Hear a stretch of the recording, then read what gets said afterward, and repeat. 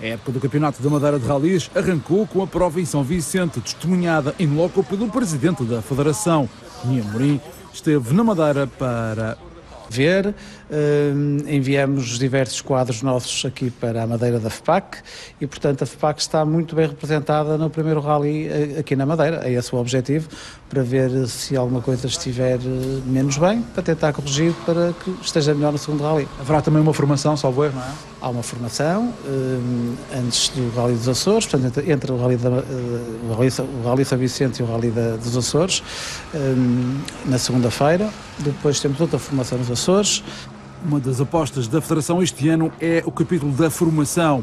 No Colégio de Comissários, composto neste rally por cinco elementos, dois eram da FPAC. Quisemos saber porquê. Isso no passado não costumou muito acontecer?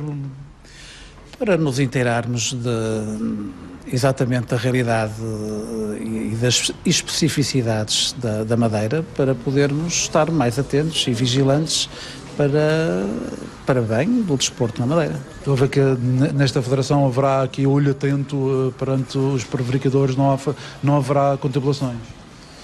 Não, pois não pode haver. A Federação está aqui e existe para isso mesmo, não é? Portanto, não podemos aceitar nem admitir que isso aconteça é em prol do desporto automóvel. Portanto, vamos estar vigilantes, eh, quer na Madeira, quer nos Açores, quer no continente, e, e é essa a razão porque estamos aqui em peso.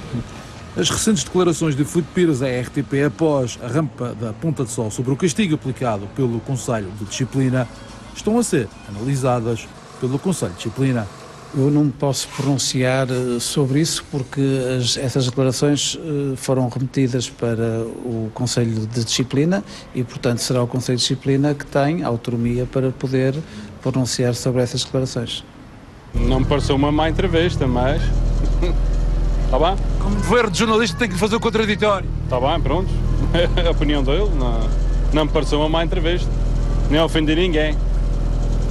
Em matéria regulamentar, esta direção da Federação Portuguesa de Automobilismo e Karting promete continuar a ouvir os pilotos a fim de melhor regular não só na Madeira como em todo, em todo o país, mas sobretudo na Madeira, que é o que nos interessa, e nós estamos na Madeira, temos que falar da Madeira, acho que fizemos um trabalho que, que, que tem que ser de enaltecer, porque ouvimos as partes todas envolvidas, hum, tivemos a regulamentação pronta, veio para trás, foi para a frente, veio para trás, até chegarmos a um ponto em que o consenso era maioritário. Obviamente que os plenos nestas coisas não existem, mas demos um passo em frente, Acho que o automobilismo na Madeira este ano vai ser um ano bom.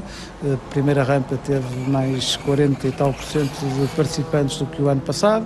Eh, o Rally São Vicente tem 30 e poucos inscritos, tanto como julgo saber. Com viaturas de topo também? Com viaturas de topo também. E, portanto, eu acho que estão criadas as condições para termos um excelente campeonato aqui na Madeira. Será sempre esta FPAC assim até ao fim do final do seu mandato, sempre atenta a ouvir os praticantes? Eu acho que sim, porque isto é mais próprio de se fazer no final do mandato do que no início. Portanto, se estamos a fazer no início é porque vamos querer, eu acho que até que incrementar ainda mais nos próximos anos. Essa é a finalidade e o objetivo. A direção da Federação atenta à modalidade e disposta a ouvir os praticantes.